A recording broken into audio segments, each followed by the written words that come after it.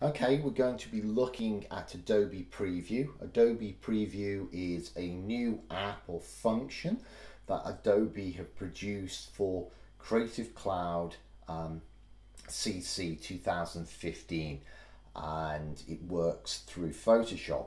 Now what it allows you to do, there's a little icon here on the uh, right here at the top, you'll see it just by the swatches, and that is the preview icon for your devices, so you need to activate that to begin with. You also need to download the app from the App Store. Now unfortunately it's not available at the moment for Android, it's only available for Apple devices, but once you've downloaded the app, you then plug your devices in using USB cables. Uh, this iMac I'm using here today has four, so I can plug in four devices.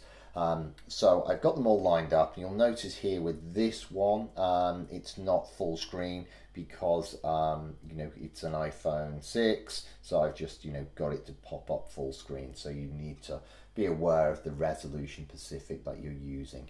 Now the good thing is you can actually uh, scroll up and down on it uh, on these devices and see if you've got a very long image, which this is in Photoshop. Um, so you can scroll uh, up and down on it. Um, gives you a good idea of how it's going to look. Now, obviously, the only issue with this is that they're not um, interactive uh, as you would have if you've done things through Sketch or InVision. You've uploaded them maybe using the Marvel app um, to have them with clickable hotspots on them.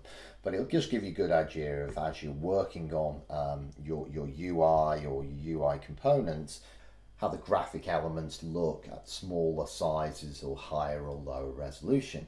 Now the joy of this is, say for example, if you want to change some things around, if I want to come along and say, okay, I'm going to change this background here in the Ultimate Collection, I can just go in and I can now change that to maybe another color, uh, make it blue, and what will happen when I click OK, uh, you'll see it will um, update that change on all the devices. So, so it is really, really useful because it seems to happen quite, quite quickly. There seems to be uh, not a lot of latency on it, whereas sometimes, you know, you do have a bit of lag. So, you know, if I wanted to move an element around again, it, it, it's able to do that. And I can move those around and it'll certainly update them reasonably quickly. And I can see how my, you know, design is changing on the fly as I'm using it. Again, it's only available through Creative Cloud 2015, so if you're a subscriber to Creative Cloud, also um, you will need to have the plugin and on Apple devices um, as it's not currently available on Android. It's now July 2015, might be available later on.